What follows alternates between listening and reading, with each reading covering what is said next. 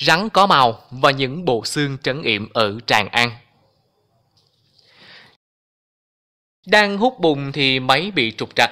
Ông Son sai công nhân nhảy xuống sông, mò thì phát hiện chiếc đầu lâu mắc vào ống hút. Ông Nguyễn Văn Son, chủ khu du lịch Tràng An cổ và cũng là cha đẻ của khu du lịch Tràng An Đường Bình nổi tiếng Việt Nam bây giờ cho biết, ông gặp vô số điều lạ lùng bí ẩn ở khu vực Tràng An. Vào năm 2005, trong quá trình đi thám hiểm, ông đã gặp một con rắn có màu. Hồi trẻ thì ông thường vào hang bói săn Sơn Dương. Chính tại hang này, Mới đây, các nhà khảo cổ đào hố thám sát đã phát hiện bộ xương người có tuổi khoảng từ 7.000 đến 10.000 năm. Ở cửa hang thì có một tảng đá khá giống cái ngai vàng. Ông Son cùng một nhóm đi vào hang bói. Dựng tóc gáy, khi trên tảng đá, ông thấy hình ngai ấy có hai con rắn vắt vẻo, một con màu đỏ, thân to, đầu có màu, một con màu xanh nhỏ hơn thì nằm uống khúc nối đầu lên trên lưng của con đỏ. Ông Son chợt nhớ lại lời của các cụ kể, khi xưa khi các cụ ở Tràng An vào chỗ hàng bói khai thác gỗ, sửa đền vua Đinh, từng gặp rắn có màu, họ đặt chiếc mầm đồng, con rắn bò vào. Các cụ nghĩ thần về nên đưa rắn màu vào hậu cung làm lễ cúng bái, cúng xong thì rắn biến mất, không ai nhìn thấy nữa. Ông Son nghe chuyện rắn có màu nhiều nhưng không tin, khi đó thì trước mắt mình là một con rắn có màu trên đầu, thực sự khiến ông dựng tóc gáy. Chấn tính lại thì ông Son chạy về nhà lấy máy quay phim. Lúc ông gặp rắn là khoảng 10 giờ sáng, ông chạy về nhà, làm lễ cúng bái rồi quay lại lúc 4 giờ chiều, gặp rắn thì vẫn nằm đó. Ông Son đứng từ xa zoom lại, quay rõ hình ảnh của con rắn có màu. Loài rắn tưởng như chỉ có trong huyền thoại. Quay xong, hai con rắn ngọ ngoại, rồi trường lên núi và biến mất. Cặp rắn vừa trường đi, ông Son lại nghe thấy tiếng rinh rít như là gà con. Lần theo tiếng kêu lạ, ông Son phát hiện một con cua rất to, màu vàng, chưa từng thấy bao giờ. Ông nhấc cua lên ngắm nghía, nó vẫn phát ra tiếng kêu rinh rít. Nghĩ chuyện lạ, ông thả con cua ra rồi về. Các nhà khoa học khẳng định một số loài rắn có râu ở mũi, nhìn thoáng qua tưởng là màu, nhưng thực ra không phải. Để chứng minh điều mình nói thì ông Son mở tủ lấy ra chiếc đĩa CD mà ông bảo quản rất cẩn thận cho mọi người xem. Quả thật, trong hình rõ ràng là con rắn có màu, mặc dù cái màu không lớn lắm. Sau khi dự án du lịch Tràng An được lập, Ông Nguyễn Văn Son cùng người em trai là đại gia Nguyễn Xuân Trường vào cuộc nạo vét sông ngòi, hang động, thung lũng để xây dựng Tràng An. Khi nạo vét lớp bùn ứ động trong một hang động ngay cạnh huyệt mạch sông Sào Kê thì họ phát hiện một bộ xương còn khá nguyên vẹn. Bên thứ hai thì có ba sâu tiền cổ niên đại thế kỷ thứ 7 đến thứ 10 là tiền Tùy, Đương.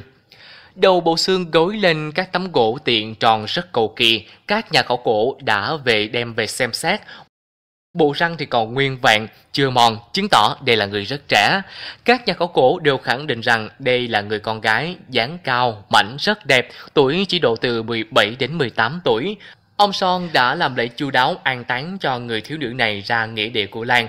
Tham khảo một số chuyên gia phong thủy thì ông Son tin rằng người con gái này đã bị yểm trong hang. Nạo vét sông hang động thì việc nạo hút sông Sào Kê cũng bắt đầu tiến hành. Dự án nhà nước về nạo vét sông đã có, nhưng không biết bao giờ nó mới được giải ngân nên công ty bỏ tiền làm trước. Có tới 150 chiếc máy hút bùn được huy động, rải dọc sông Sào Kê, đoạn chảy qua Tràng An. Một lần thì chiếc máy hút bùn trục trặc, ông Son sai công nhân nhảy xuống sông mò ngẫm xem có vật gì lọt vào ống hút hay không. Công nhân này xuống mò, nhấc lên một chiếc đầu lâu, mò tiếp thì vớt được nguyên cả bộ xương người. Từ bấy thì ông Son rút kinh nghiệm hệ máy đang hoạt động trơn tru mà gặp dị vật bích ống hút thì sai người xuống mò mỏng dưới lớp bùn, thế nào cũng kiếm được xương người. Theo ông Son thì dưới dòng sào kê đã chỗ nào cũng có xương người, y như đã bị trấn yểm, vì xung quanh chỗ có xương người thường có nhiều vật lạ khác. Một ngày tháng 7, trời mưa sụp sùi, con sai người làm mấy mâm lễ lớn, vừa cúng bái vừa khao chúng sinh ngay trên sàn con tàu hút bùn.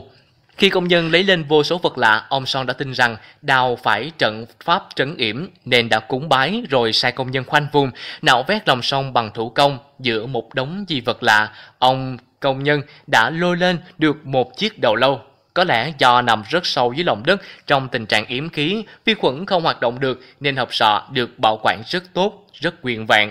Một số nhà khảo cổ nhân chủng học tìm về và khẳng định hộp sọ to, đẹp cân đối thể hiện đây là một người thông minh khỏe mạnh, thậm chí là một vị tướng. Điều lạ lùng là chia lại chỉ phát hiện hộp sọ dưới lòng sông, còn xương cốt và các bộ phận khác thì lại không có. Ông Son đã huy động mấy chục công nhân mở rộng diện đào bới, tuy nhiên tìm kiếm suốt một tuần thì không thấy thêm mẫu xương nào. Tin rằng chiếc đầu lâu này là của vị tướng, nên ông Son sai người an táng rất chu đáo. Khi đó thì một đội chuyên phục vụ mai táng di chuyển hài cốt được thành lập. Theo lời của ông Son, họ mua tiểu sành vải liệp màu đỏ, đích thân ông đã cúng cho oan hồn này.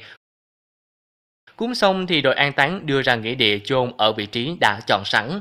Sau này một số người đi xem tâm linh đã nhận thủ cấp này là của tổ tiên mình, tức tướng Nguyễn Bạc, đã có cả trăm bộ xương được mo lên từ lòng sông Sào Khê, đoạn cửa hang luôn, được an táng vào một khu vực mà ông Son xây dựng trong nghĩa địa làng Tràng An. Ông Nguyễn Văn Son nói cả đời gắn bó với vùng đất Tràng An này gặp không thiếu chuyện gì, nhưng ngẫm lại, tôi tin rằng anh linh của các cụ đã dẫn dắt tôi từng bước để khám phá những bí ẩn trong lòng đất Tràng An. Việc phát hiện ra trận đồ trấn điểm này không phải ngẫu nhiên, mà tôi tin rằng do các cụ đã sắp đặt.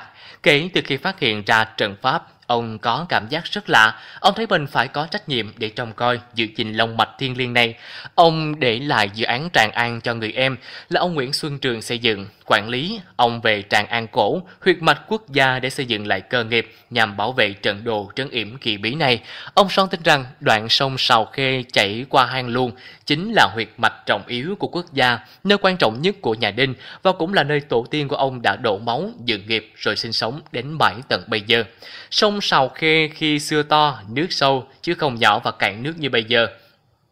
Mùa lũ, nước từ sông đáy thốc vào, nước dâng cao chảy cuồn cuộn, chỉ có con đường duy nhất vào Tràng An là đường thủy. Trên sông Sào Khê, xuyên qua hang luồng, cả con sông đã chảy qua lòng quả núi. Nơi đây bốn bề núi cao hiểm trở, các dãy núi là tường thành tự nhiên, dễ phòng thủ, khó tấn công, nên vua Đinh rồi nhà Tiền Lê đã chọn làm nơi dựng nghiệp. Cửa hang luồn là một công trình kỳ vĩ của tự nhiên, mái hang khá thấp, như chỗ bơi thuyền chạm đầu, tuy nhiên bề rộng thì tới 60 mét, đủ chỗ cho thuyền bè tấp nập ngược xuôi mà không sợ tắt. Chèo thuyền đến cửa hàng luồng thì ông Nguyễn Văn Son dừng thuyền chỉ lên những hình khắc kỳ lạ trên cửa hàng rồi kể. Khi việc đào hút đoạn hàng luồng gặp nhiều sự cố thì ông Son mới để ý trên những hình khắc này. Ông tìm lại sách cổ, rồi gặp các chuyên gia phong thủy, chuyên gia văn hóa cổ thì thấy rằng những hình khắc như trên vách đá thường được sử dụng cho các lễ trấn yểm hoặc cầu siêu, giải oan của người xưa. Khi xưa thì con sông Sào Khê thực tế tên là Tàu Khê, được đặt tên theo con sông Tàu Khê nổi tiếng linh thiêng của Trung Quốc. Khê có nghĩa là ngòi luồn lách qua khe núi. Khi chúa Trịnh Sâm về đây đã cho lập bia và đề thơ trên vách đá ngay cửa hàng luôn, hiện tấm bia trên vách đá vẫn còn nguyên vẹn. Ông Son đã lập mái để che mưa, che nắng, giữ cho tấm bia được bền vững với thời gian.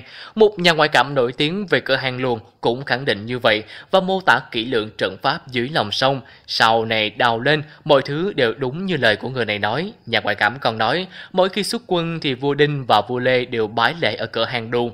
Thắng trận cũng về đây làm lễ rồi thả đen, nến, vàng hoa trên sông Sào Khê trôi qua hang luồng sáng rực một số nhà phong thủy cũng được ông Son mời về nghiên cứu những hình khắc.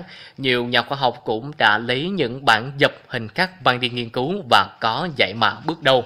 Những hình khắc thì bao gồm tháp kính thiên, cá phóng sinh, đài sen, ngọn lửa, đạo linh phu. Những hình khắc này tập trung ở máy đá ngay cửa hàng luôn, không phát hiện ở nơi nào khác. Dựa vào độ mòn, các nhà khoa học cũng khẳng định các hình khắc có tuổi đời rất lâu. Hình khắc tháp kính thiên khá cầu kỳ, dưới đáy hình tháp là ngọn lửa thả trên mặt nước. Tổ hợp hình ảnh này biểu thị cho lễ cầu siêu cho tướng sĩ vì nước quên thân. Hình con cá thể hiện cho sự phóng sinh trong nghi lễ cầu siêu. Hình bùa linh phù có lẽ bí ẩn nhất. Phía dưới hình là miếng gỗ, một Tê trên là hình người quỳ nâng lương hương, tiếp theo là hình mặt trời và trên cùng là hình ngũ cốc. Đây là một lá bùa cổ, được người xưa dùng để trấn yểm, giữ yên, âm trạch. Huyền Bí TV, kênh thông tin chọn lọc về khoa học huyền bí, tiên tri, phù thủy, chấn yểm, lời nguyền. Hãy đăng ký để không bỏ lỡ bất kỳ bản tin hấp dẫn.